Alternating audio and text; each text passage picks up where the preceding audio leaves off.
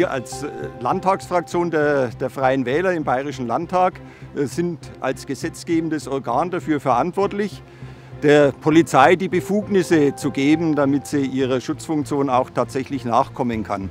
Und hier muss man immer das ausgewogene Verhältnis äh, finden zwischen Bürgerrechten und zwischen Sicherheitsbedürfnis.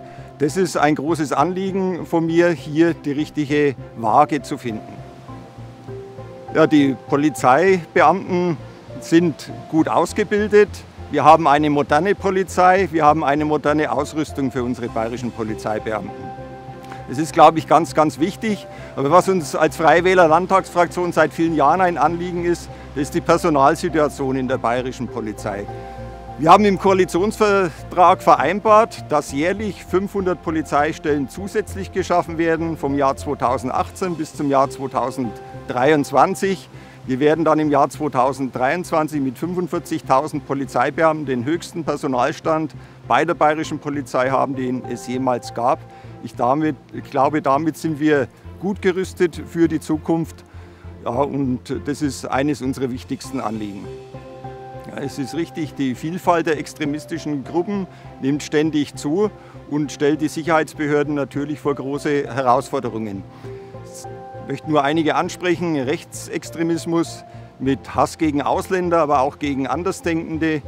Die linksautonome Szene, die eine ebenso große Gefahr darstellt, aber auch Reichsbürger, islamistischer Terrorismus oder ausländischer Terrorismus oder Extremismus. Aber auch die organisierte Kriminalität sei in diesem Zusammenhang genannt.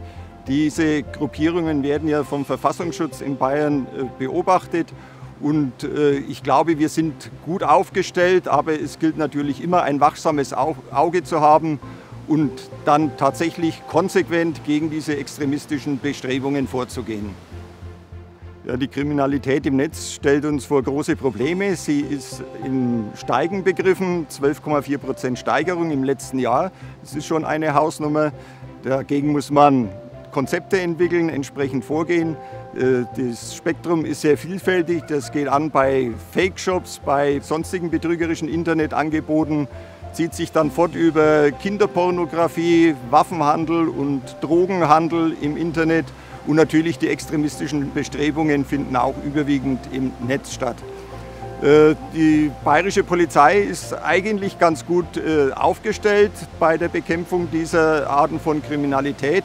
Aber es wird uns in den nächsten Jahren noch äh, viel Arbeit kosten, das entsprechend einzudämmen und konsequent dagegen vorzugehen.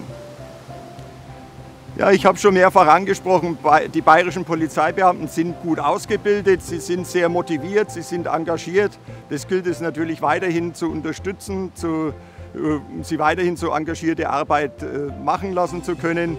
Der Freistaat ist natürlich auch aufgefordert, ihnen die nötige Rückendeckung zu geben. Äh, Gewalt gegen Polizeibeamte ist derzeit ein großes Thema. Sie ist am Steigen. Das äh, zeigt sich nicht nur in verbalen Angriffen, sondern tatsächlich auch in körperlichen Angriffen bis hin zu versuchten Tötungsdelikten. Ich glaube, da kann die Gesellschaft nicht zusehen. Da muss die Politik, aber die gesamte Gesellschaft hinter unseren Polizeibeamten stehen und ihnen den Rücken stärken. Ja, wie so viele Freie Wähler hat natürlich mein Weg über die Kommunalpolitik in die große Politik geführt, in die bayerische Landespolitik. Äh, ich habe mich engagiert für einen Lärmschutzwall in der Nähe meines äh, Hauses, das ich gekauft habe. Da habe ich Unterschriften gesammelt und seitdem bin ich in der Politik tätig. Eine besondere Freude macht mir natürlich, wenn ich was erreichen kann für meine Heimat, für meine Heimatregion. Wenn ich da irgendwelche Projekte an Land ziehen kann, Gelder aus dem Freistaat, die dann hier investiert werden, dafür lebe ich, dafür setze ich mich ein. Das ist meine Motivation, mich politisch zu engagieren. Bayern, Urlaub, Berge, Seen.